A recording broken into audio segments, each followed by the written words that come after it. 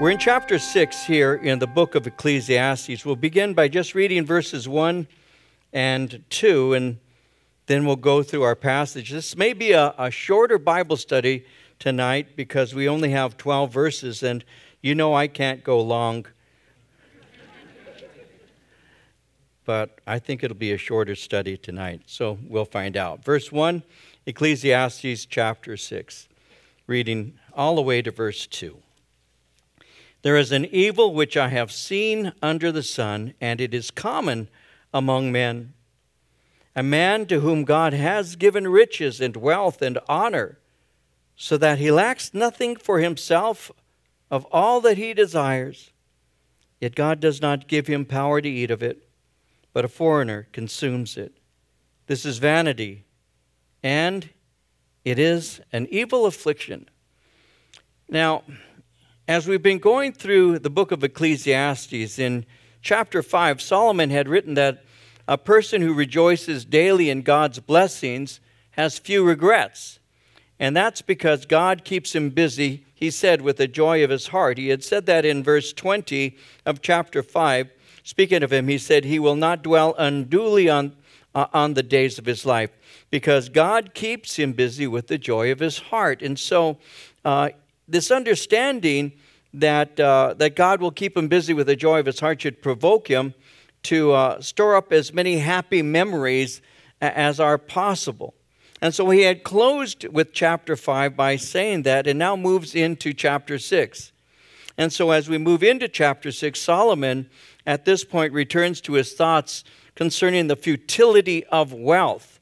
Now, he had just said that silver and abundance is not completely satisfying. Uh, the thing that is satisfying is understanding that God is the giver of all good gifts. So, with that in mind, he's saying, enjoy your relationship with God. Do not rely on wealth to give to you those things that can only come through the Lord. Again, we looked at that, but we do have a tendency, especially today, but I think this is something that is, is within the heart of all human beings from almost the beginning. That we think that the more we have, the happier we'll be. And so we always have to take things in perspective. You know, if, if a, a person who has very little lectures you and says, oh, don't get caught up with wealth and this and that, you may have a tendency of thinking, well, the only reason you're saying that is because you don't have any. So you have no practical experience concerning wealth and, and the things that it can buy. And, and when you say that money can't make me happy, I'm happier now than if I were poor. So come on, give me a break. And you can think that way because this person who's lecturing you or whatever is a person that really doesn't know what it's like to have an abundance. And so you may not listen to that person very closely, though their wisdom is accurate. But when you hear somebody like Solomon speaking, a very extremely rich man. And he's saying, I'm telling you, I've had it all. I never withheld anything from my eyes. The things I desired, these are the things I had. And we've already gone through the list of the things that he's possessed, the things that he was able to buy. You know, in, in his kingdom, silver and gold were, were like sand, they were like dust. He had so much of it, it, it really wasn't something that tempted him. And that's the point he's making. He's saying, in, in, in all of your getting, there are things that matter more than the material and you have to be careful about that because material goods will never give you soul satisfaction. So the key to joy in life is pursuing the Lord. And, and it's learning to trust Him daily for His provisions and His blessings. In Matthew 6, verse 33, Jesus said that. Jesus said, Seek first the kingdom of God and His righteousness, and all these things shall be added to you. And so when you pursue the Lord, you learn to be content in whatever estate you're in when you pursue the Lord, you learn the, you learn the secret of contentment. So the key to contentment is to focus on the giver of gifts and not just the gifts. Because God is the one who gives all gifts. And God is the one who gives to us those things that are necessary for us. And Solomon is pointing that out. So when you receive something from the Lord, you receive his gifts with gratitude. And you bless others as you have been blessed. And when we yield to His will in our lives and we use what He gives us to His glory, then we learn the secret of enjoying life and we become satisfied. So, with that said, Solomon is continuing his thoughts on the vanity of trusting in wealth. And so in verses 1 and 2, that's the point that he's making. Verse 1 again, there's an evil which I have seen under the sun. It's common among, among men. And then he says what this evil is a man to whom God has given riches and wealth and honor, so that he lacks nothing for himself of all he desires. Yet God does not give him power to eat of it, but a foreigner consumes it. This is vanity, and it is an evil affliction. Solomon says that there are many wealthy people who cannot enjoy their abundance. God has given them riches, wealth, honor. He says they lack nothing. So when he says God has given them these things, that would be uh, distinguishing him from the one who gained wealth through oppression. He has what is called a glorious abundance of treasures and a spotless reputation. He materially lacks absolutely nothing in any way. All of this honor, all of this wealth has come from the Lord, yet Solomon says he cannot enjoy it. He knows that God has given him all of this, and yet God restrains him from enjoying it. There are wealthy people who never enjoy the advantages of their wealth. They work hard, they save, they look forward to a comfortable retirement, but they cannot in any way make use of it. There are those who became very wealthy but become an invalid. And, and can you imagine? I mean, it, it's possible that they had put money away for some time because when I retire or when I get to this certain level of financial uh, freedom, I'm going to go to Aspen, Colorado, and I'm, I'm going to ski and I'm going to enjoy myself. And they finally reach that point where they have that kind of financial freedom and they have an accident and they become crippled. And, and they had all the money and they put everything away, but they're never able to go and do the things that they wanted to do because they didn't get a chance to use it. Um, they may have contacted a disease and and and they and they may have uh, just become bedridden. They they they may even die suddenly. They never get a chance to enjoy it. They may lose their family. None of their family inherit their wealth, and so he says this is something that's common. A, a man to whom God has given riches, wealth, and honor, so that he lacks nothing for himself of all he desires. Yet God does not give him power to eat of it. A foreigner consumes its vanity and evil affliction.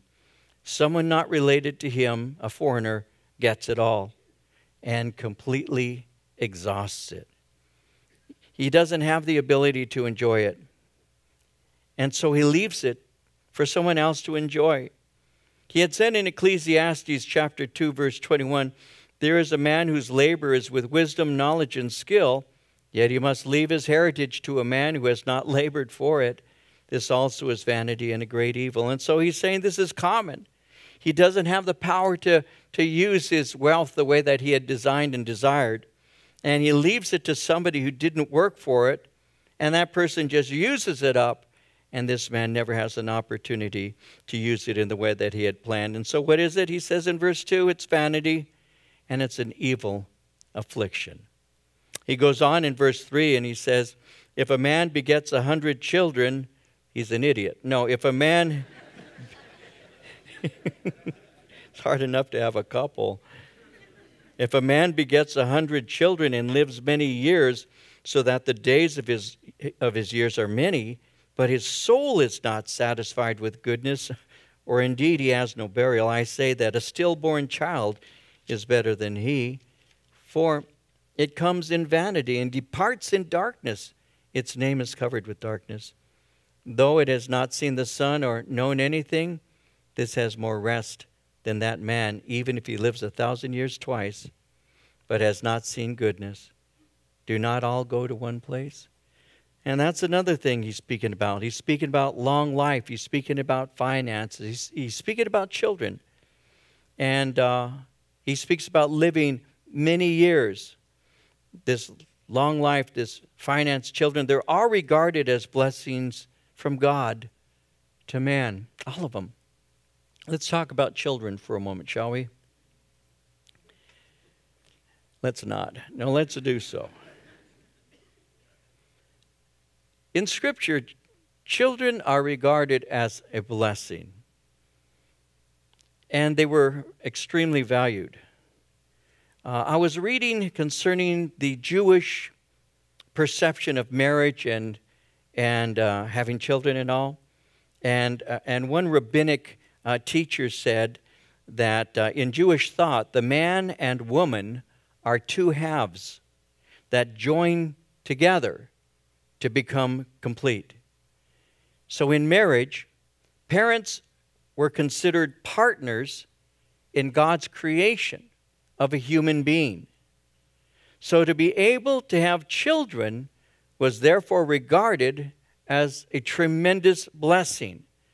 In Psalm 127, verses 3 and 4, Behold, children are a heritage from the Lord. The fruit of the womb is a reward. And blessed is the man whose quiver is full of them. And so Solomon is making a simple point. A, a man can have many children, and that is a blessing from God. Because when you consider the fact that they really didn't have what is called social security, um, what would happen would be if I, as the husband, and my wife were able to beget several children, especially males, because men are better, if we had many males, well, my sons had an obligation to care for me as their father. And so they would take care of me in my older age. And they would make sure I was taken care of because that was their responsibility. It was part of honoring their father and their mother. And so if I had several sons and they were all productive, the chances could be, if they were obedient to the law, that they would make sure that their mother and I lived in comfort to the end of our days. And that was a great blessing. If we had no children, that was a much more difficult situation. Because if I were to die and leave my wife alone as a widow and she had no one to support her, that would have been an extremely difficult thing for her. So, in the mind of the Jewish individual during this time, and even up to this day to some degree, to have many children was quite a blessing because it was going to provide for them in their old age. They would be taken care of. So, they regarded it as a blessing, and that's why children are an heritage of the Lord. The fruit of the womb is his reward. And blessed is the one who has many children because they'll have a, a quiver full of them. And so the children are in the hand of a uh, are like arrows in the hand of a mighty warrior. They they are the protectors uh, for the old, and they're the providers. And it was an extremely important thing to have many children, and that's the point that he's making. And so children, when you have your children, are intended by God to carry on godly heritage. And when you look in the book of Malachi, one of the reasons God states that he, he, he hates what's taking place, he said, I, I, I hate divorce. The reason, part of the reason that he hates divorce is because it's, it's breaking up that, that unity, that man and woman becoming one. It's breaking that unity and thus is destroying what God intended to be a source of blessing to, to the earth through the family. In the New Testament, Divorce is looked at as being a terrible thing, not only because it leaves the children absent of two parents to raise them in the home, but because it also does an injustice to the image of Christ in the church. Because the husband and the wife are a picture of Jesus Christ and the church, which are to be, to be together, never to be dissolved, because the church is to be in unity with its husband Christ. And so, that's one of the reasons why today there is an extreme attack on family. It is a spiritual war that is taking place that many people are not recognizing. The attack on your home is not simply a culture war. The attack on your home, if you have children, married with children, the attack on your home is a spiritual war where the enemy is attempting to destroy the godly heritage that is intended to be a demonstration of the unity of Christ with his bride, the church, which shows the solidity of God's work in humanity and the production of godly offspring. And so, all the way in the Old Testament, there was a sense that children are a heritage of the Lord. And that's why you'll see people like Hannah, who's crying, and her husband is saying, What's wrong? and you have given me no children. What am I? Who am I in the place of God to give you children? How can I do that? Because she felt that she, being barren, was not being blessed by God. Because they saw children as a blessing, not an inconvenience, not something that gets in the way of you enjoying life, but actually producing the substance of your life. The joy of raising one created in the image of God into a worshiper of God. What a great challenge and what a great thing to accomplish to see your child following God because of the faith that you've exercised. And yes, there is a war on your family right now. Some of you are going through some pressures. Some of you are going to the place, I've gone to the place where you're saying, I don't think I can do this any longer. What's the point? What's the use? And then you hear this, this, this story of, well, you know, God's gracious, He wants you happy. Well, the funny thing is, is that I don't know a Bible verse that says God wants me happy. He wants me blessed, but that's not the same thing as being happy because the word happy relates to the word happenings, which speaks of my circumstances, which means that I, when my circumstances are good, I can be happy. God gives you joy and God gives you blessings, and He gives to you the ability to have joy in the midst of the deepest sorrow because you know that you're walking through the valley of the shadow of death, but you will fear no evil, for He's with you. And when you understand that as a Christian, you can go through hell and high water because you're never alone. That's what Christians know. But the enemy wants to say, you can't make it. Life isn't worth it. Let it go. Life is short. You need to enjoy it while you got it. And this person's not making you happy. And after all, isn't everything supposed to make you happy? And if it doesn't, well, get rid of the person who's making you unhappy and find one who will. But the problem is, nobody does because nobody can make me happy. You know why? Because I'm a monster. Amen. I'm selfish. It's got to be about me. And that's why you die to self. That's why he says, pick up your cross daily. Follow me. Why? Because the road to life is via the way of death. And when I die to my selfishness, I can live like Him because He died for me. I need to learn to die to myself and to live for others. And so when Solomon is speaking here concerning a man having all of this, he has, he has wealth, he has everything, he has children. He says a hundred children, which was another way of saying he's going to be well cared for in his old age. It's another way of saying he has quite a bit uh, of individuals who will be providing for him. He's saying if he doesn't have a relationship with the Lord, if he doesn't have satisfaction in the things that really matter, it doesn't matter at all. His soul, he says, is not satisfied with goodness. He's not content in what he has. He has no pleasure in them. He has no enjoyment of them. He has not understood that his blessings are from God.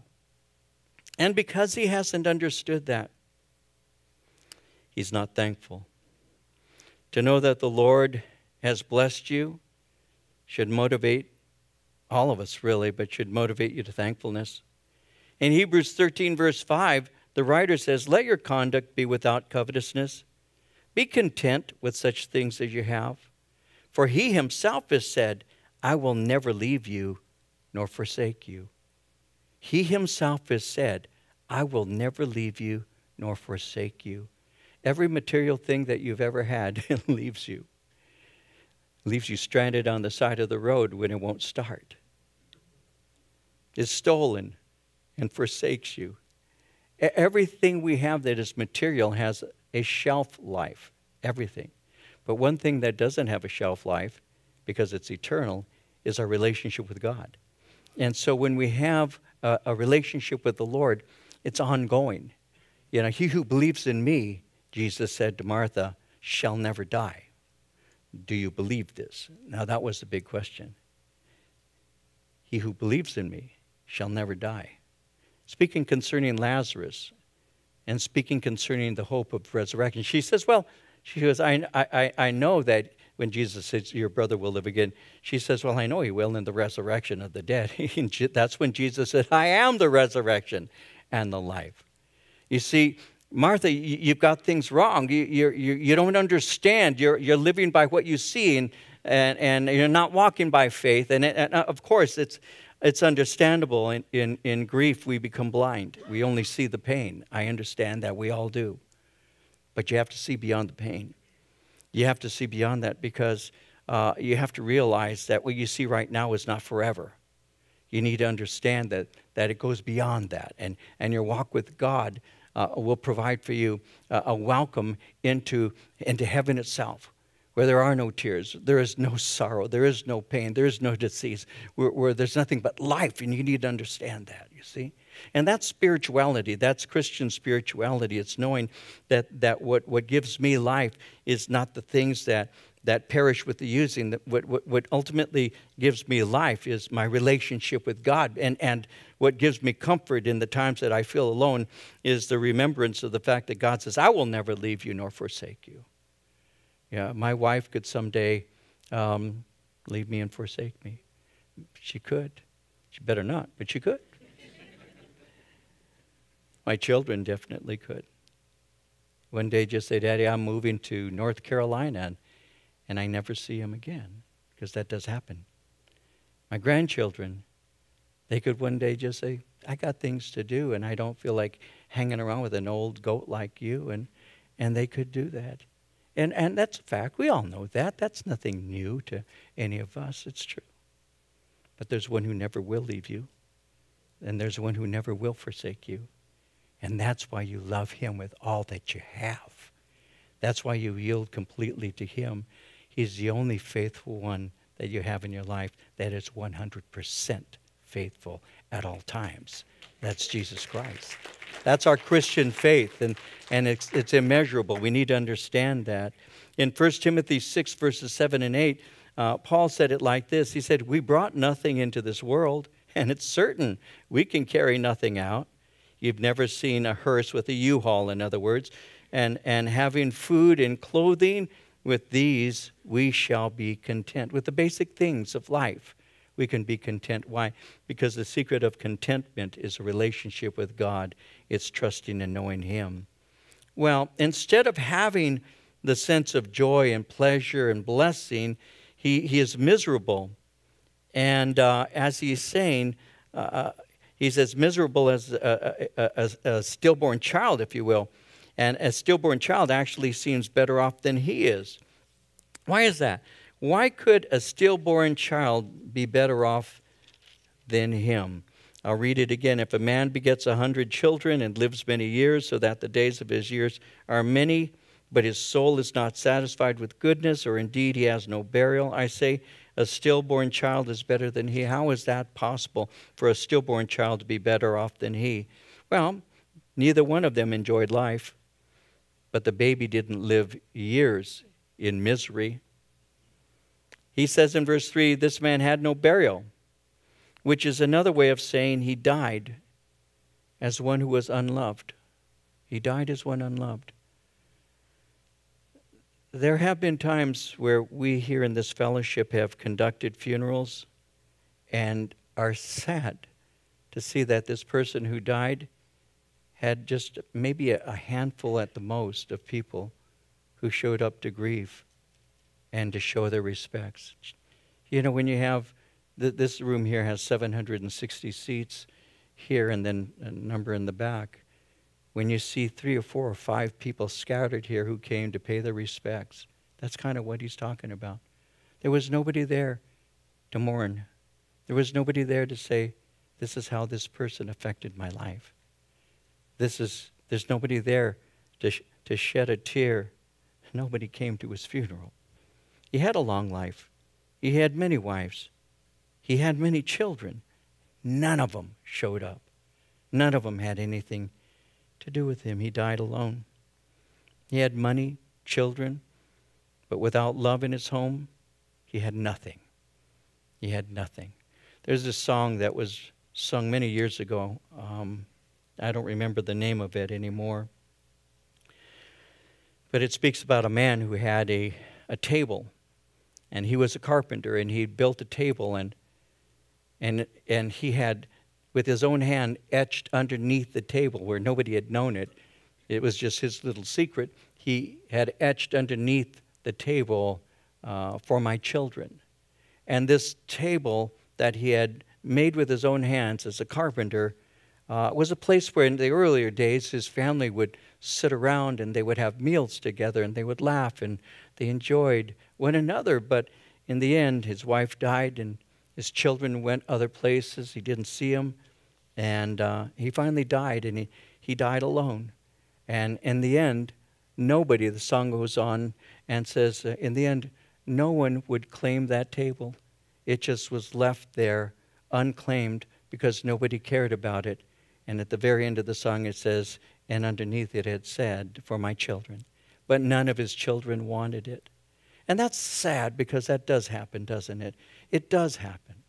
Where, where we can get caught up with so many different things that take us away from the more important things. And, and, and even though we may have, oh, a Thanksgiving dinner where we're all together, but we don't see each other again until another holiday, and then we've got our separate lives. Well, that's the picture here. He had 100 kids, he had wives, he had money, he had it all, but he had nothing.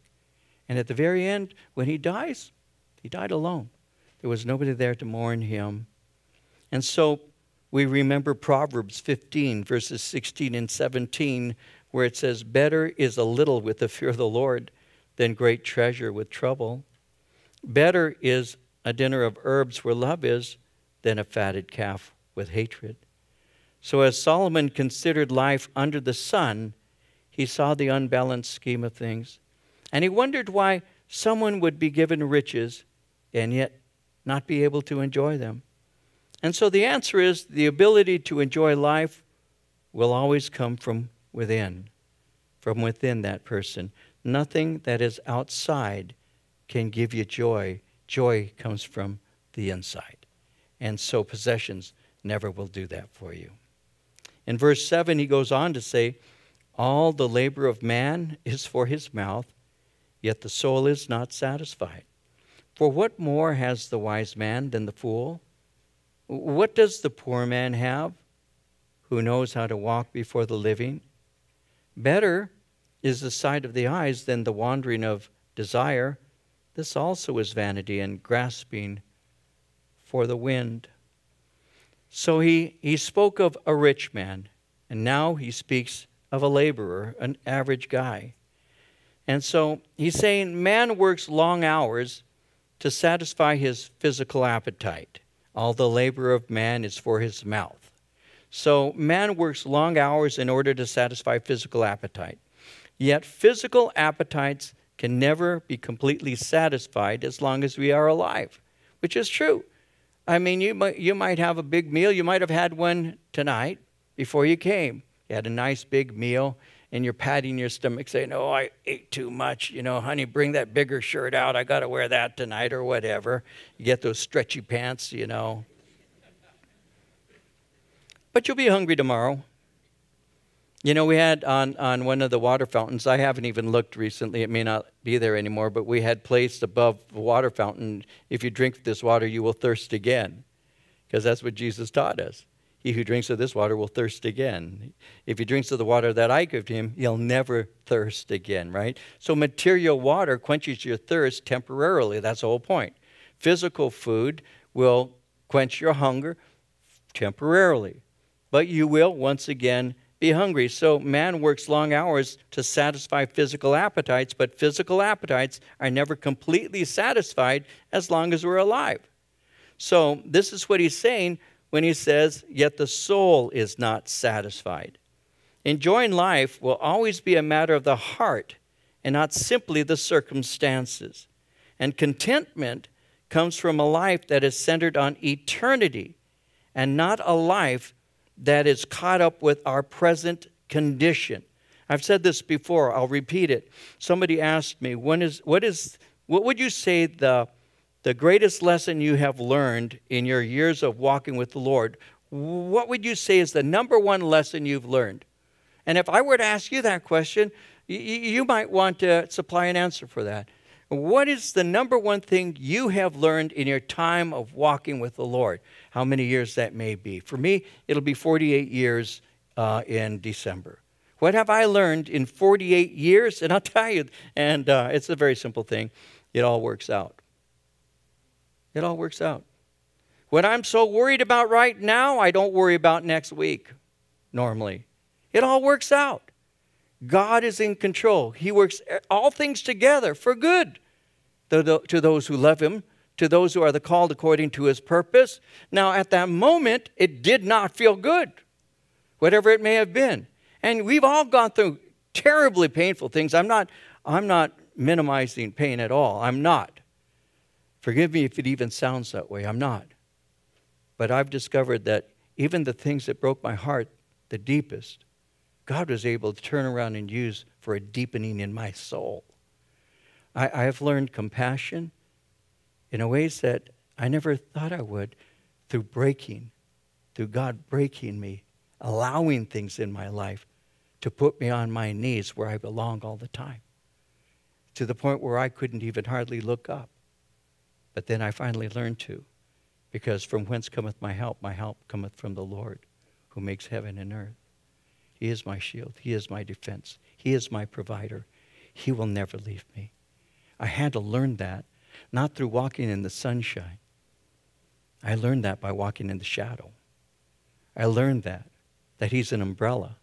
He shades me from the heat. He's the one who provides the water when I'm thirsty, and He satisfies my hungry soul. I had to learn that, and I'm learning that now. I'm still learning that one lesson. God is good. And God loves you. And God will provide for you. And if you've ever said, God, make me like you, remember, He is the wounded healer. He was broken for us, and He will break you too. But didn't you ask Him to? Oh, not really. I, I wanted Him to just kind of make me. Mm. no, you gave Him permission. You said, Jesus, make me like you. And you forgot that He was hated and you forgot that he was rejected, and you forgot that he was crucified. And here we are saying to him, Make me like you, but don't give me a cross to carry. I'm sorry, but that's how you become like Christ, is by being broken and then refashioned by him. Now, I'm turning a lot of you off because you don't want that to happen. But if you want to be like him, yield to him.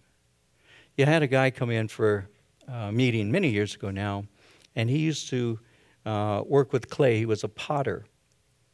And uh, he wanted to talk to me about something or other. This is 30 plus years ago now.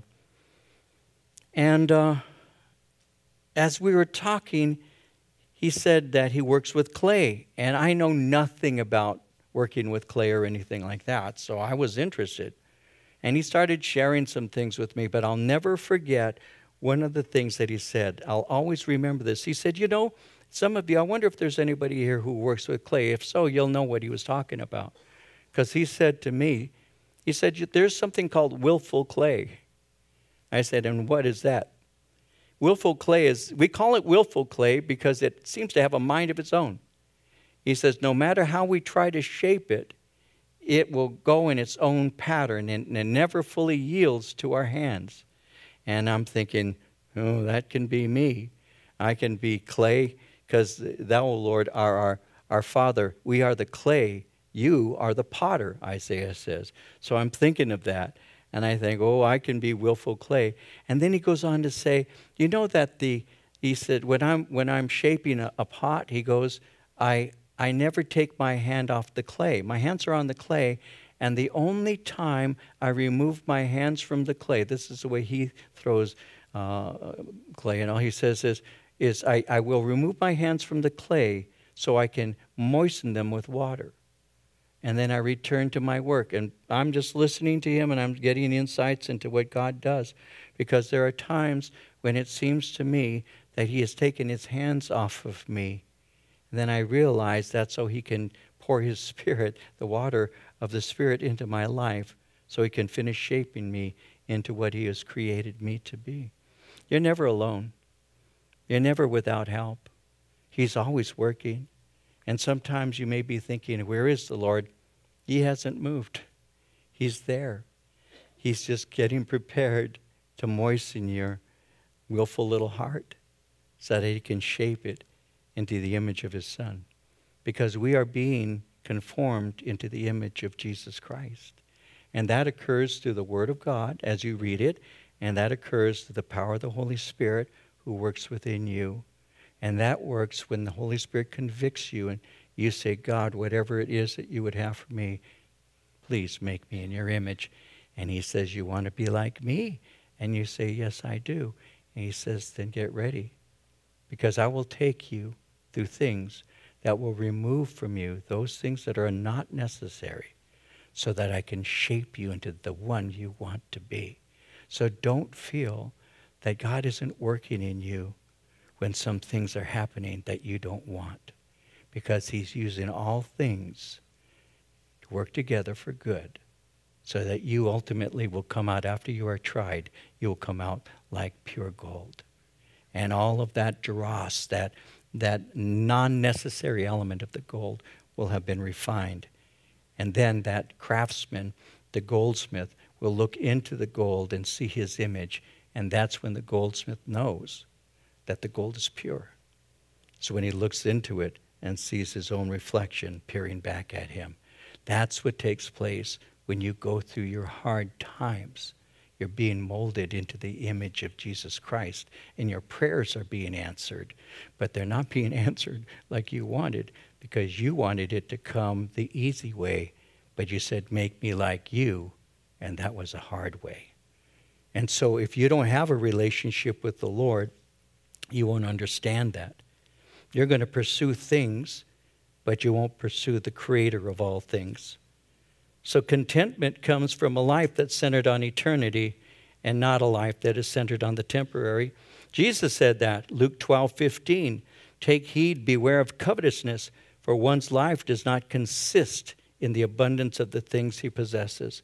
One's life does not consist. The word consist, I looked that up in the original language just to see the, the meaning of it. And when he says one's life does not consist, it speaks about one's life not being held together. To consist speaks of being held together. Your life is not held together, made given substance by your material things. Your life consists in your relationship with God who keeps you together. So enjoying life is the result of a hope that's beyond your present condition. In John 10, verse 10, Jesus said, The thief does not come except to steal and to kill and to destroy. But he went on to say, I have come that they may have life and that they may have it more abundantly. When Paul was speaking concerning this in Philippians 4 11 through 13, he said, Not that I speak in regard to need, for I have learned in whatever state I am California, Arizona, Nevada, whatever state, whatever state I am, to be content. I know how to be abased. I know how to abound. Everywhere and in all things, I have learned both to be full and to be hungry, both to abound and to suffer need. And then he went on to say, I can do all things through Christ who strengthens me. Now, he's not saying, and I should hasten to say this, that it's wrong to work in order to eat. Working to eat is something God requires of us. We're not to live off the labor of others while refusing to work ourselves. We'll be looking at that this upcoming Sunday. But in Proverbs 21, verse 25, it says, The desire of the lazy man kills him, his hands refuse to labor. His point is simple life consists in more than simply eating and working. And if this is our whole purpose of life, then we are basically on the same level as a mere animal. In, in reality, we've been created with a higher purpose, and, and that higher purpose is what defines our lives. So our real hunger is spiritual and can only be satisfied through a relationship with God through Jesus Christ. Now, in verse 8, he said, For what more has the wise man than the fool? What does the poor man have who knows how to walk before the living. Well, he says the poor man who knows how to walk. Well, that's another way of saying that this is a man who is wise. If all a person does is satisfy their natural appetites, then those professing to be wise have no advantage. And that's because both exist to simply satisfy their basic needs. So, it's better to pursue the Lord. In verse 9, better is the sight of the eyes than the wandering of desire. This also is vanity and grasping for the wind. That's an interesting, an interesting thing to say. Better is the sight of the eyes than the wandering of desire. It's better to have little and enjoy it than to desire much and never have it. You've got a home. I hope you do. And as you go home, you go into your house and you have a bed. And if you're thirsty, you can turn on the faucet, you can get some water. And uh, but you see somebody in a palace, a mansion,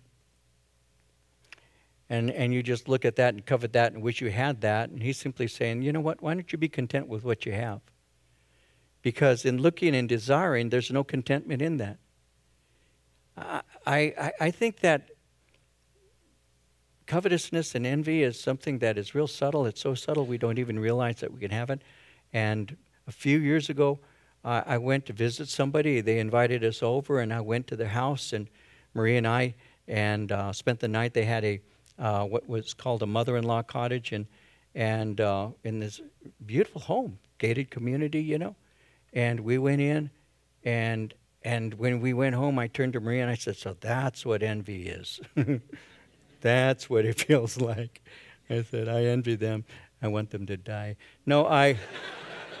and leave it to me. See, because sometimes you don't even realize you can do that. I mean, wow, that what a wow, you know, what a beautiful courtyard and this and that. And wow. So yeah, I, I, the Lord said, see, this is what I'm talking about. You know, learn to be content. I am content, Lord. Well, you just revealed to me you're not as content as you think you are. Well, then, Lord, give it to me and make me content for you. you are the giver of all good things. So, be satisfied with what you have. Be thankful for it. That's a secret of contentment. Dreams and ambitions can be great motivators in your life, and chasing a dream can lead to success.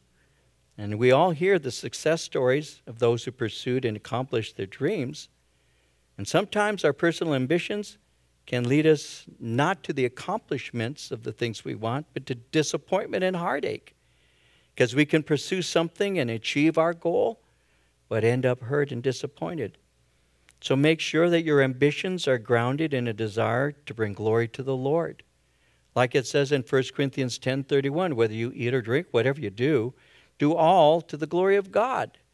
In Colossians 3:23 and 24, whatever you do, do it heartily as to the Lord, not to men, knowing that from the Lord you will receive the reward of the inheritance. You serve the Lord Christ.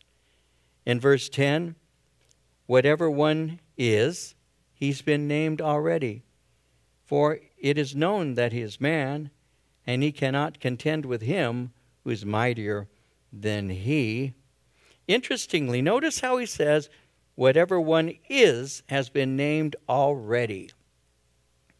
That's another way of saying everything that a person does is previously known. God is not surprised, in other words, by anything that we can do. He's speaking of the essential nature of man. It is known that he is man, it's what he's saying. So, because we're human, it's always unwise to attempt to argue with God. Notice he, it says, He is known that he's man. He cannot contend with him who's mightier than he. I, I can't win every argument that I have with a human being, let alone God. Let alone God. And yet, you see in Scripture a lot of illustrations of those who contended with God.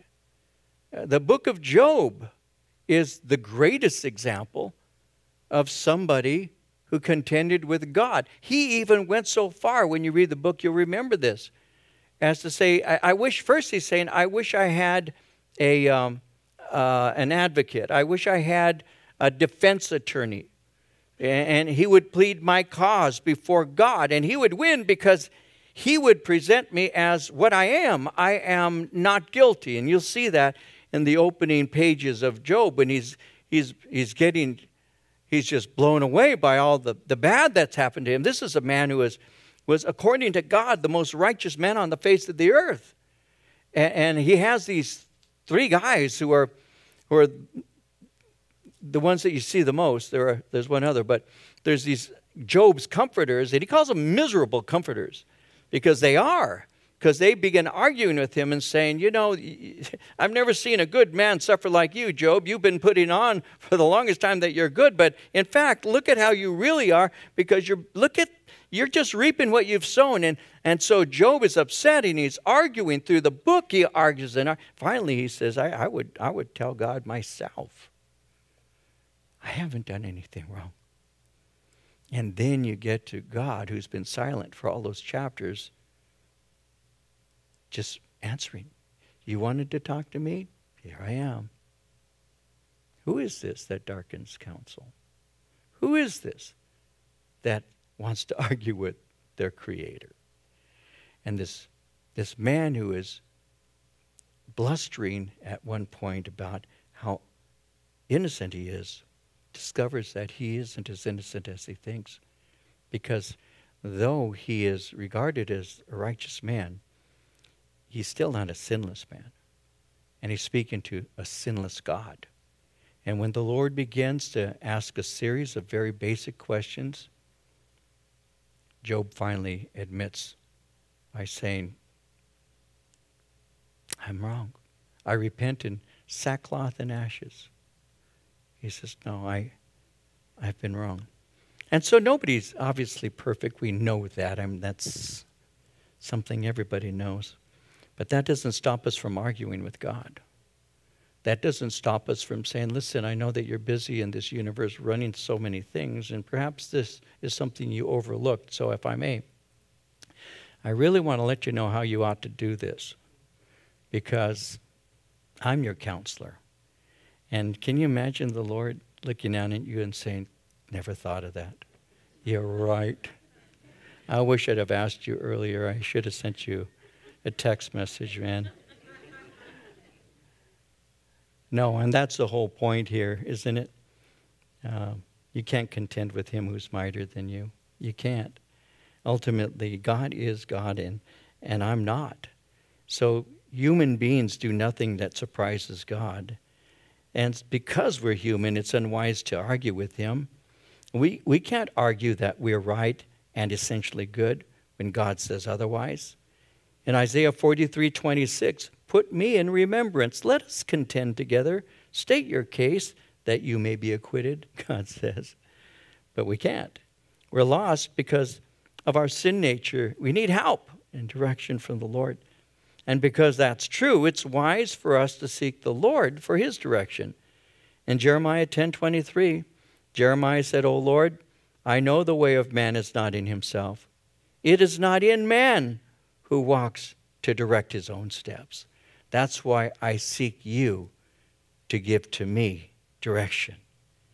And then in verse 11, since there are many things that increase vanity, how is man the better? When he says there are many things, uh, the word thing speaks of speech, it speaks of words. In other words, man can argue that he's good, but his arguments are futile.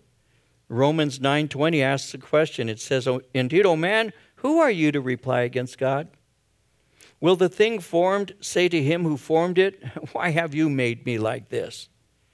Job again, verse 2 of chapter 40. Shall the one who contends with the Almighty correct him? I've corrected the Lord. And God has been very kind to discipline me when I have. When I was a new Christian within the first three years of my walk with the Lord, I had a terrible habit of getting mad at God if something bad happened in my life.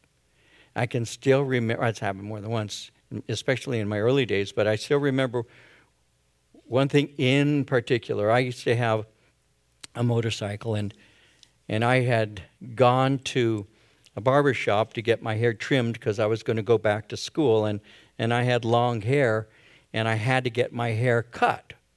And I, I didn't want to, but I was going to Biola, and Biola had a um, haircut policy. And when I was in the military, for two years, you have to cut your hair. But I had gotten out of the military, and from the moment I had gotten out, I hadn't cut my hair. So my hair grows fast.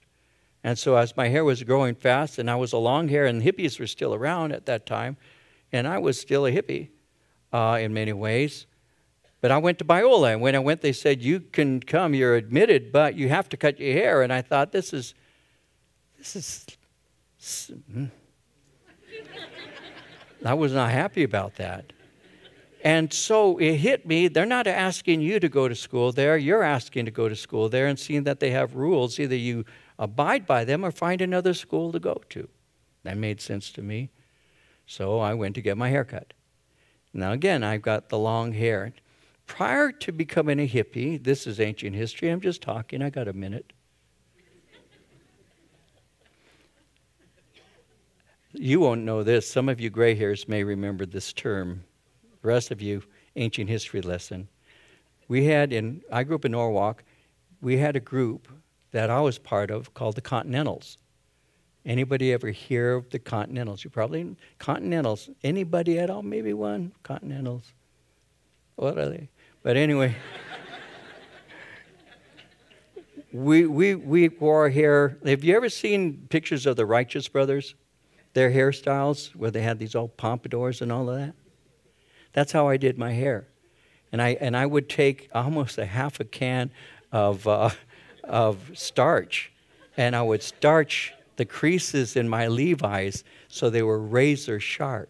And whenever I'd walk, you could hear that. I wore these sharp shoes. We, we called them co- cockroach killers because they were pointed and you'd kill the cockroach in the corner with them. I was a continental.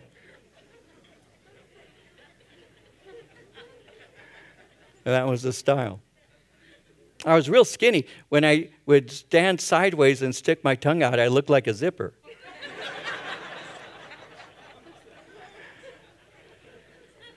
but anyway. And so I became a hippie. When I became a hippie, you know what hippies are. And so from continental, I went hippie. And so my head was still in the hippie thing. It still really is to this day in a lot of ways. So I'm letting my hair grow the way God intended. But I have to get my hair cut because I'm going to Biola and they're legalistic. so I go to this barber. I didn't know barbers because hippies don't need barbers. But this guy had cut my hair once for a high school prom. That's how far back that went. And I said, you know, do this, do that, do this, do that. And he says, cool, cool. When he finished my hair and turned me around, you know, that moment, I had, I went back to being a continental. and I got this kind of, it looks like a 53 Chevy hood. It's kind of round. I was really upset. And I got, that is, I got on my motorcycle and I drove home. I was mad, angry at the Lord. All I want is just an ordinary haircut. You couldn't allow an ordinary haircut. Why did? And I was yelling at the Lord all the way home. Then I washed my hair and I tried to comb it. Mm, it's doing this thing here. I was mad. And I got on my bike and I took off and I hit the corner. I downshifted to power shift around and go around a corner, and the bike went out from underneath me in the intersection and spun. Was, it was a Harley. I had a Harley Sportster. And I was spinning. I hit the ground, and I didn't hear this, but I heard him shut up. That was the last time I contended like that with the Lord. That's the truth. It's the last time because the Lord's, I didn't hurt myself. The bike wasn't hurt. There was no, the paint wasn't chipped. There, The pipes weren't bent up. I mean, I hit and spun. And it was like the Lord said, I'm not kidding. This is what I thought. I thought I, I thought I could hear him saying, Do you want to argue some more? Who is this that contends with the Almighty? That scripture means something to me. Who are you to try and correct me? Why do you blame me for every small thing that happens in your life? Grow up, is what he was telling me. And you know what? He was right. That's a right lesson for me to learn. And I find it in Scripture. The question is asked. So, man's argument that he's basically good is futile. He doesn't become better because of his argument. You become better when you admit that you need help and agree with the Lord that you need his help. It, it, you become better when you listen to Psalm 41, verse 4, where he said, I said, Lord, be merciful to me, heal my soul. I have sinned against you. And so that's where it happens. You transform when God begins to work in you. And finally, verse 12 For who knows what is good for man in life? All the days of his vain life, which he passes like a shadow? Who can tell a man what will happen after him under the sun? Who knows? Well, God does. And God knows what will happen next. And the fact is, we all have one appointment that we will definitely keep, and that is death. That is death. I had a friend in the military, one last story. He was very dear to me. He had like three names. I, I didn't know what his real name was for a long time. He introduced himself to me as Danny. Then he was Rocky. And then he was Roland. So I called him Roland Rocky Diaz, Danny Diaz. And he, he was from California. I was stationed with him in North Carolina. And, and so I call him Danny, but he, he liked to be called Rocky. Well, Danny was very dear to me, but was probably one of the biggest liars I'd ever met in my life. I mean, he lied, he lied, he lied so much. And I loved him terribly because he was entertaining when he lied. We were airborne, he and I, and he didn't talk to me much about the Lord, but he would on occasion. He was also a roommate with me. And I was a, a, fresh Christian wanting him to be saved, and he claimed to know the Lord. And we would have conversations, and he, again, he was a big old liar. And I got silly stories about him that I'll never forget. But one day we were in a helicopter. And when you're in a helicopter and you jump helicopters, they put a strap in front of you. They'll put what they call a stick. There's like three or four of us at the door. And, um, and then the helicopter pilot will take you up, and then he'll bank and, and so you're sitting there kind of leaning out the door and coming back. It's a blast. It's so much fun. But not Danny. Danny was not having fun. Danny had his eyes closed the whole time. And I'm just, and I still remember turning to him saying, Danny, man, isn't this? And his mouth is moving, his eyes are closed, and he was praying. He became a praying man as he was sitting there because he was afraid he was going to die. I'll never forget that. He was given extra duty on one occasion. The only guy in the colonel's office cleaning the colonel, cleaning his office. The only guy, and he stole the colonel's jump boots. The only guy in the office. He stole his boots.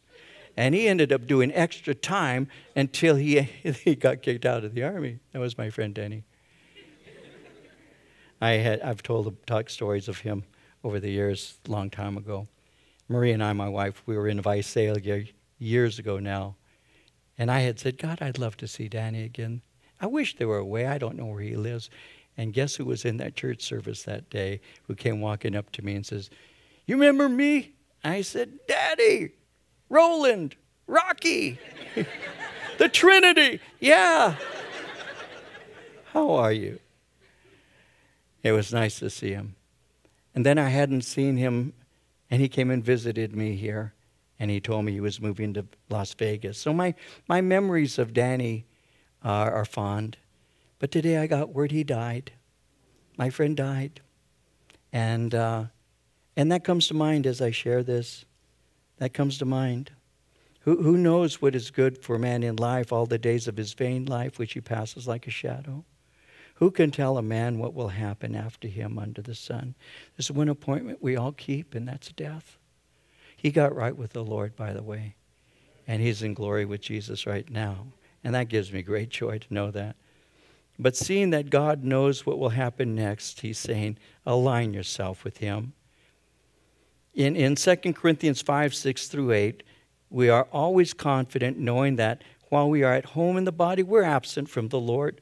For we walk by faith, not by sight. We are confident, yes, well pleased, rather to be absent from the body and to be present with the Lord. Our, our life passes like a shadow. It does pass. But when we give our heart to Him, he who believes in me shall never die. Do you believe this? And the answer is, Yes, Lord, I believe.